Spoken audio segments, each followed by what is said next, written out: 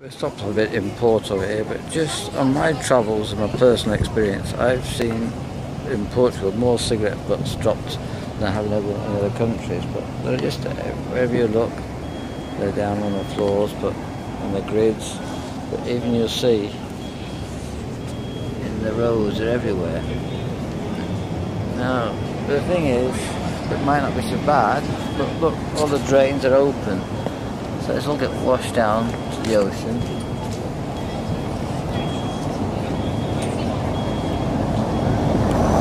No matter what, everything goes in there. Still got cigarette butts in that one, so though. They say it's all downhill from here down. Oops, shaking, isn't it? All downhill. We've got to come back all the way back up here again. But it's half an hour going down, and about three hours getting back up again.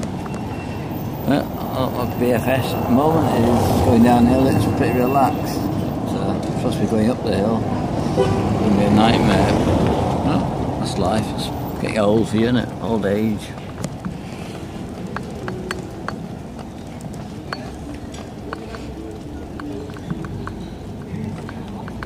Buildings there. Well, this is where we were yesterday, one of the videos. Uh, Starsky met his first collie dog here, and uh, so we're going down from here down to the, to the river. Okay, we're doing this video now, we're going down to the waterfront, we'll start one from there.